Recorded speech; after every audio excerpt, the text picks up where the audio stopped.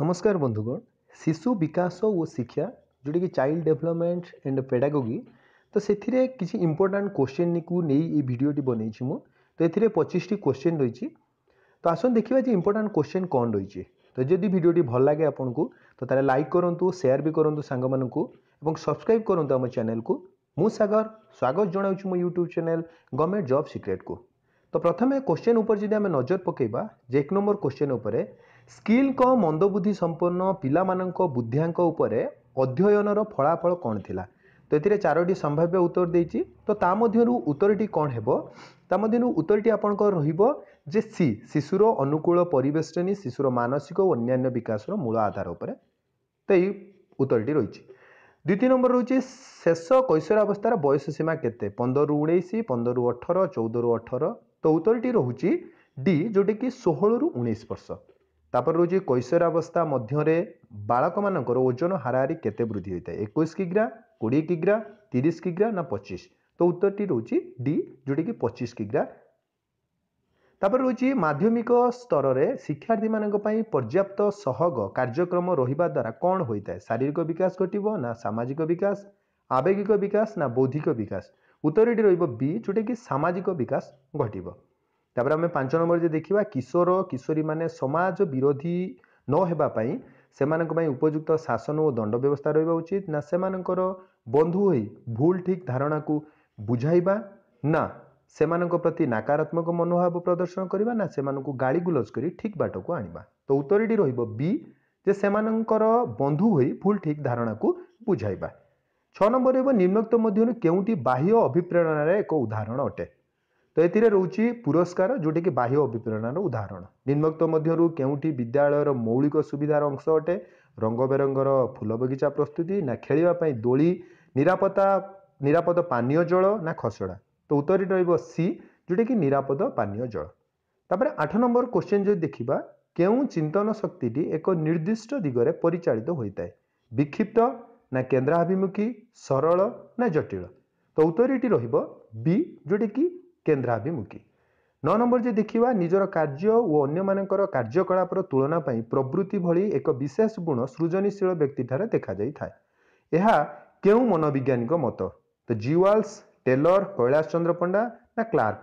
ତ ଏଥିରେ ରହୁଛି ଟେଲରଙ୍କ ମତରେ ତ ଏଇ ଯେଉଁ ପ୍ରଶ୍ନଟି ଥିଲା। ଦଶ ନମ୍ବର ଦେଖିବା ଯେ ନିମ୍ନୋକ୍ତ କେଉଁ ପାଠ୍ୟକ୍ରମ ଆଧାରରେ ଅନ୍ତର୍ବେଶୀ ଶିକ୍ଷା ଉପରେ ଅଧିକ ଗୁରୁତ୍ୱ ଦିଆଯାଇଥିଲା। ତ ଏଥିରେ ରହୁଛି ଉତ୍ତରଟି ଆପଣଙ୍କର ରହୁଛି ଯେ ଡି ଜାତୀୟ ପାଠ୍ୟକ୍ରମ ଆଧାର ଦୁଇହଜାର ପାଞ୍ଚ ଅନୁସାରେ। ଏଗାର ନମ୍ବର ଯଦି ଦେଖିବା କେବଳ କେବଳ ଭାରତ ସରକାର ଭିନ୍ନକ୍ଷମ ଶିକ୍ଷାର୍ଥୀମାନଙ୍କ ପାଇଁ ସମନ୍ୱିତ ଶିକ୍ଷା ଯୋଜନା କାର୍ଯ୍ୟକାରୀ କରିଥିଲେ କେବେ? ଉଣେଇଶହ ଏକସ୍ତରୀ ଅଠରଶହ ସତୁରି ନା ଉଣେଇଶହ ସତୁରି ନା ଅଠରଶହ ଉଣେଇଶହ ନବେ? ତ ଏଥିରେ ରହୁଛି ଯେ ଉଣେଇଶହ ସତୁରିରେ ଆରମ୍ଭ କରିଥିଲେ। ବିଦ୍ୟାଳୟ ଶିକ୍ଷା ପୂର୍ବରୁ ମାନସିକ ଅଗ୍ରସର ଅନଗ୍ରସର ପିଲାର ପ୍ରସ୍ତୁତି ସମୟରେ କାହା ଉପରେ ବିଶେଷ ଗୁରୁତ୍ୱ ଦିଆଯାଇଥାଏ? ତ ଯେଉଁଠିକି ରହୁଛି ଭାବ ବିନିମୟ କୌଶଳ ଉପରେ ଅଧିକ ଗୁରୁତ୍ୱ ଦିଆଯାଇଥାଏ। ତେର ନମ୍ବର ରହୁଛି ଯେ ପ୍ରଭାବଶାଳୀ ଶିକ୍ଷାର୍ଥୀ ନିମନ୍ତେ ନିମ୍ନୋକ୍ତ କେଉଁ ସ୍ୱତନ୍ତ୍ର ଶୈକ୍ଷିକ ବ୍ୟବସ୍ଥା ଗ୍ରହଣ କରାଯାଇଥାଏ? ପାଠ୍ୟ ବିଷୟକୁ ଶ୍ରେଣୀ କ୍ରମରେ ଆବଣ୍ଟନ କରାଯାଇଥାଏ ନା ପାଠ୍ୟ ଏକ ଗୁଡ଼ିକୁ ଜଟିଳରୁ ସରଳ କ୍ରମ ନିଆଯାଇଥାଏ? ସି ରହୁଛି ଉତ୍ତରଟି ନୂତନ ତଥା ଆଗ୍ରହ ଦୀପକ ଶୈକ୍ଷିକ ପାଠ୍ୟକ୍ରମର ବ୍ୟବସ୍ଥା କରାଯାଇଥାଏ ଚଉଦ ନମ୍ବର ହେଉଛି ଯେ ନିମ୍ନୋକ୍ତ ମଧ୍ୟରୁ କେଉଁଟି ମନ୍ଥର ଓ ଅନଗ୍ରସର ହେବାର ପରିବେଶଗତ କାରଣ ନୁହେଁ ପାରିବାରିକ କାରଣ ବିଦ୍ୟାଳୟ ସମ୍ପୃକ୍ତ କାରଣ ସାମାଜିକ କାରଣ ନା ତ୍ରୁଟିଯୁକ୍ତ ଆବେଗିକ କାରଣ ତାର ଉତ୍ତର ରହୁଛି ଯେଉଁଠିକି ମନ୍ଥର ଓ ଅନଗ୍ରସର ପାଇଁ ତାପରେ ରହୁଛି ପନ୍ଦର ନମ୍ବର ଦୃଷ୍ଟି ଦୋଷଯୁକ୍ତ ଶିକ୍ଷାର୍ଥୀମାନଙ୍କ ଠାରେ ନିମ୍ନୋକ୍ତ କେଉଁ ଲକ୍ଷଣଟିଏ ପରିପ୍ରକାଶ ହୋଇଥାଏ ଯେଉଁମାନଙ୍କ ପାଖରେ ଦୃଷ୍ଟି ପ୍ରୋବ୍ଲେମ୍ ଅଛି ଯେଉଁଟାକି ଭିଜୁଆଲ୍ ପ୍ରୋବ୍ଲେମ୍ ତ ସେମାନଙ୍କ ପାଖରେ କେଉଁ ଲକ୍ଷଣଟିଏ ପରିଲକ୍ଷିତ ହୋଇଥାଏ। ନା ସେଥିରେ ରହୁଛି ଯେ ପୁସ୍ତକକୁ ଆଖିର ଅତି ନିକଟରେ ଧରି ଦେଖିବାକୁ ସେମାନେ ଚେଷ୍ଟା କରନ୍ତି। ଶ୍ରବଣ ଦୋଷଯୁକ୍ତ ଶିକ୍ଷାର୍ଥୀ ନିମନ୍ତେ ଶିକ୍ଷକ ଶ୍ରେଣୀରେ ନିମ୍ନୋକ୍ତ କେଉଁ ବ୍ୟବସ୍ଥା ଗ୍ରହଣ କରିବା ଦ୍ୱାରା ଶିକ୍ଷାଦାନ ଅଧିକ ସଫଳ ହୋଇଥାଏ? ଯେଉଁଟାକି ରହୁଛି ଉତ୍ତରଟି ସି ଅଧିକ ଦୃଶ୍ୟ ଉପକରଣ ବ୍ୟବହାର କରିବା ଦ୍ୱାରା। ଆଦିବାସୀ ପରିବାରରେ ସବୁ ନିଷ୍ପତ୍ତିରେ ଏବଂ ସବୁ କାର୍ଯ୍ୟରେ ମହିଳାମାନଙ୍କର ପୁରୁଷମାନଙ୍କ ପରି ସମାନ ଅଂଶଗ୍ରହଣ କରିବାର ସୁଯୋଗ ଥାଏ। କାରଣ ମହିଳାମାନେ ରୋଜଗାରକ୍ଷମ ହୋଇଥାନ୍ତି। ତ ସେଥିପାଇଁ ସେମାନେ ସବୁଥିରେ ଭାଗ ନେଇପାରନ୍ତି ବିଦ୍ୟାଳୟ ପାଠ୍ୟ କାର୍ଯ୍ୟକ୍ରମରେ ଆଦିବାସୀ ପିଲାମାନେ ସକ୍ରିୟ ଅଂଶଗ୍ରହଣ କରି ନ ପାରିବାର ମୁଖ୍ୟ କାରଣ କ'ଣ?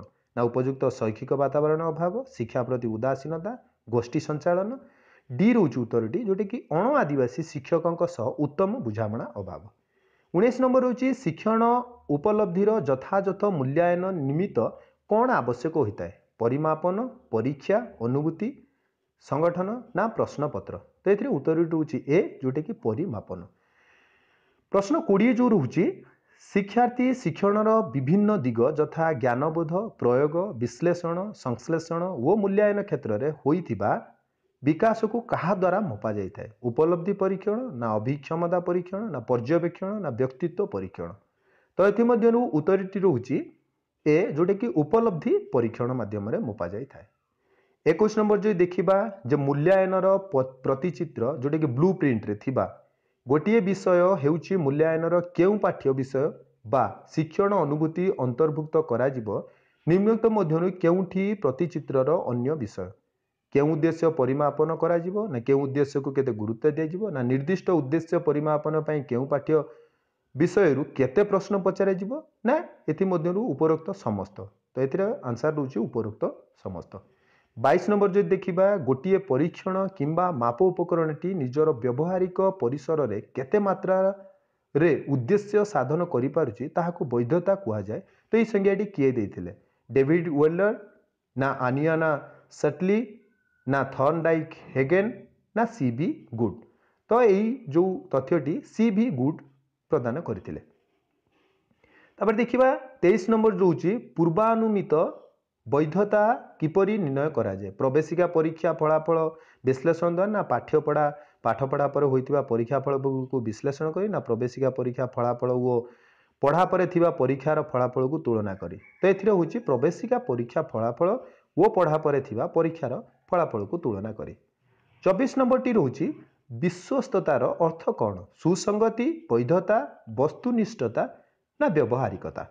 ତ ଏଥିରେ ଉତ୍ତରଟି ଉତ୍ତରଟି ରହୁଛି ସୁସଙ୍ଗତି ପଚିଶ ନମ୍ବର ଯଦି ଦେଖିବା ସହ ସମ୍ବନ୍ଧ ସହଗର ଅନ୍ୟ ନାମ କ'ଣ ବିଶ୍ୱସ୍ତତା ସହଗ ନା ସ୍ଥିରତା ସହଗ ନା ଉଭୟ ଏ ଓ ବି ଉପରୋକ୍ତ ମଧ୍ୟରେ କେଉଁଠି ନୁହେଁ ତ ଉତ୍ତରଟି ରହୁଛି ବିଶ୍ୱସ୍ତତା ସହଗ ତ ଯଦି ଭିଡ଼ିଓ ଭିଡ଼ିଓଟି ଭଲ ଲାଗେ ତାହେଲେ ଆପଣ ସାଙ୍ଗମାନଙ୍କୁ ସେୟାର କରନ୍ତୁ ଯଦି ଆପଣ ଚାହୁଁଛନ୍ତି ଆହୁରି ଅଧିକ କିଛି ଜାଣିବାକୁ ତାହେଲେ କମେଣ୍ଟ ବକ୍ସରେ ଆପଣ କମେଣ୍ଟ କରିପାରନ୍ତି ତ ଆମେ କେଉଁ ଉପରେ କ୍ଲାସ୍ ନେବା କେଉଁ ଟପିକ୍ ଉପରେ ତ ପେଡାଲୋଜିର କେଉଁ ଟପିକ୍ ଉପରେ ଅଧିକ ଆମେ କ୍ଲାସ୍ ନେଇପାରିବା ତ ନୂଆ ଏକ ଭିଡ଼ିଓ ସହିତ ପୁଣି ଆପଣଙ୍କ ସହିତ ଦେଖାହେବ ସେତେବେଳେ ଯାଇ ରହୁଛି। ନମସ୍କାର। ଧନ୍ୟବାଦ।